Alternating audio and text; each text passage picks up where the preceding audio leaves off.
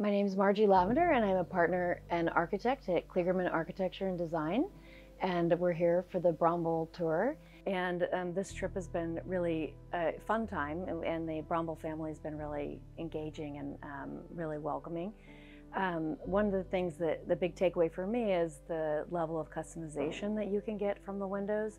Um, I think that I, I, in the past, thought that we needed to be wood windows to be able to customize the details and the finishes to the level that they're able to do, um, but that's been really enlightening to see. And I, have always known Brombal made a, a really um, beautiful product, but the ingenuity and the uh, customization has been something that I've learned since I've been here that I can't wait to use on future projects.